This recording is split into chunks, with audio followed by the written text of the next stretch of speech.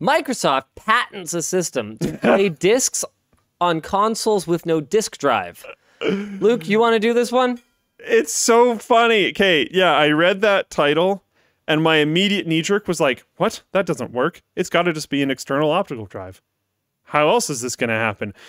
And then I start reading through it and I'm like, okay, okay, there's actually some cool things in here and I'll get to those in a moment. And I finally get to the the bullet point that's like the proposed system involves using an external disk drive to verify the Xbox game. It's like, yeah, of course.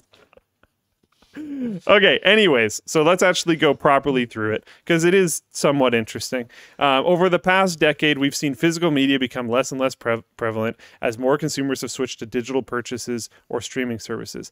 That is true. I have some problems with that. Whatever. Let's move on. Uh, to the point that both Microsoft and Sony sell a version of their current consoles with no disk drive, also known as, in this specific case, the Xbox Series S. Uh, if you decided to pick up an Xbox Series S, you'll find you have no way to play your Xbox One back catalog if you have them on digital or uh, uh, physical versions. Um, but in a recently discovered patent from 2020, it's not even new, uh, Microsoft proposes a system allowing players to receive digital versions of the games that they bought on disc. So that's what's going on. You're like verifying that Your you have it, license, I guess. Effectively. Yeah. Yeah. Um, it, it's unknown. Uh, I don't know if this goes into it in the notes, but it, it's unknown if you like if the physical version will f- keep working fully independently.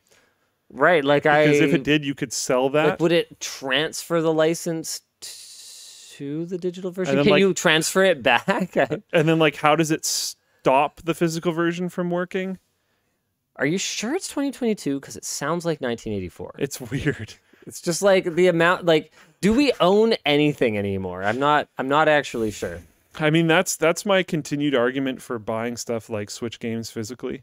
And I know like a lot of people don't want to do it, and that's fine. Do whatever you want. Well, if there's anyone who's gonna you on it, it's going to be Nintendo. Yeah.